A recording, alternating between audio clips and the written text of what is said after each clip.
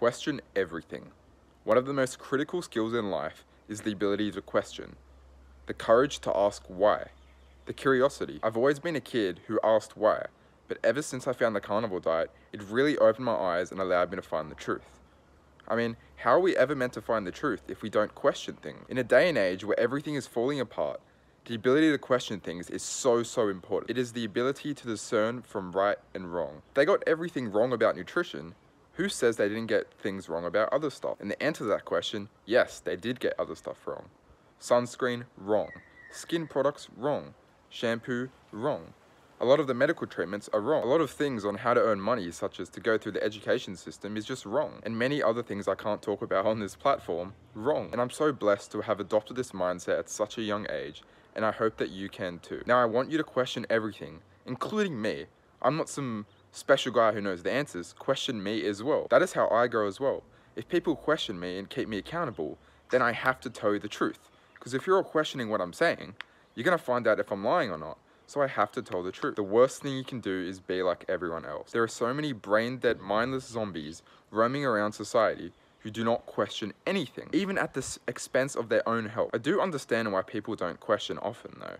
It's uncomfortable, it's leaves, it makes you leave your comfort zone, and as humans, we naturally tend to take the path of least resistance. However, if you really want to make something out of this life, or want to make a change in other people's lives, you need to question. I mean, look at people like Bill Gates, Marcus Aurelius, famous philosophers and entrepreneurs. Do you think they just sat there and listened to what they were told? Or did they question everything? Obviously, they would have questioned. If they listened to everything they were told, they'd be the same as everyone else. Average. This is the critical skill that separates you from the rest. Do you really want to be a sheep? This is how revolutions occur. A group of people get together in a room and start to question everything. This is how we advance as a society. You are a very dangerous person if you question. You are someone to be feared of. If everyone adopted this mindset, the world would be a complete different place. The government would have nowhere near as much control over us as they do now. Now, I'm not telling you to go out there and protest and make a big fuss. What I'm saying is think of what you're told and actually question, actually it doesn't have to, it might not be wrong, but the ability to just think for a second, hang on a sec, is that correct what I've been told? And just think for yourself. Because at the end of the day, it is your own health and your own life. No one is coming to save you. So, if I listen to what the government told me and it made me very sick, they don't care. So you have to take your health into your own hands. Now I do think that the government's main way of keeping us to conform to them and to keep us to listen to what we're told is by malnourishing us. When we are malnourished, we are mentally unstable, we don't have optimal brain function. I mean, we can't even take care of our own health, so how can we have the brain power to question other people and people above us? Over the past few months, I've slowly been trying to unlearn everything I've learnt. Everything that I've been told from family and friends, the government, school, and I've been trying to slowly re-adopt the mindset where I know the answers for myself. Now this is extremely hard, because I believe the indoctrination begins as young as when you're in preschool. Now, a lot of what they're saying may be right, but I'd like to know for myself, and I assume you would as well, if it is actually correct, because a lot of it isn't. So the act of just sitting there and thinking, hmm, is what I've been told correct, is very, very powerful.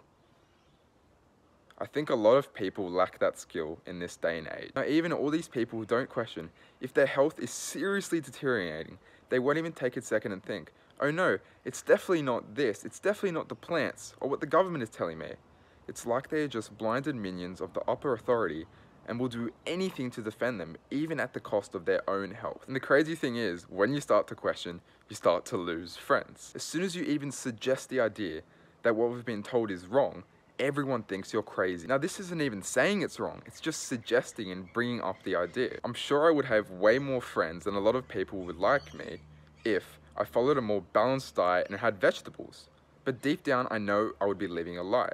I would not be happy, I would still be ill and unhealthy, and I care way more about my own health than what others think of me. Now I think there are two main reasons why people seem to think you are crazy when you start to go against the grain and question what you were told. Number one, they are actually so brainwashed and they're actually a slave to the system. So they genuinely think it's right. Number two, people are too much of a wuss and too afraid to escape their comfort zone. So when they see you bettering your life, questioning stuff, making changes, They become insecure, so they try to bring you back in and keep you weak like them. It's sort of like that crabs in a bucket analogy. The bottom of the bucket crab will try and bring all the ones at the top to the bottom. I mean, this isn't just the carnivore diet, but when I've started the carnivore diet, the amount of crazy impressions and faces people have gave me is unreal.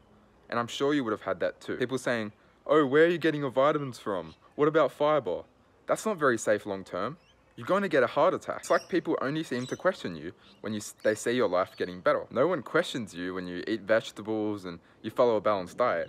But as soon as you go against the grain, for your own health, they all go crazy. People don't even know what vitamins are in vegetables for the first place. Don't really blame them. I was the same. I didn't even think there was any nutrients in meat. I didn't even I didn't even think there was any micronutrients in meat. I thought it was literally just the protein and you get your vitamins from the vegetables. It's really not that hard to find out for yourself. The answers are at your fingertips. All you have to do is sit there for a second and think, hang on, that doesn't seem right.